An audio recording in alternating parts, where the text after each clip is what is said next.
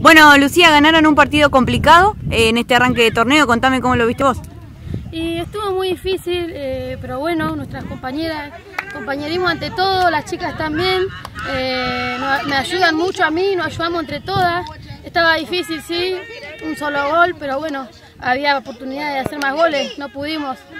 Bien, sí, se, se, dio un partido en el que tuvieron varias situaciones, por suerte para ustedes convirtió la compañera, pero se hizo difícil, ¿no? Abrir el marcador. Sí, la verdad que sí. Eh, una banda de llegadas, estuvimos al arco de ellas y no, no salía, no salía. Es más, pegué un pelotazo, pegó en el palo y nada, eso, me quiero morir.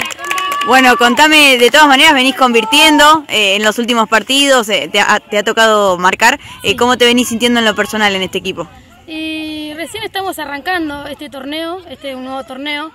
Eh, y nada, vamos a dar lo mejor, yo voy a dar lo mejor de mí para, para mis compañeras, eh, si la puedo ayudar en todo lo que pueda, la voy a ayudar siempre.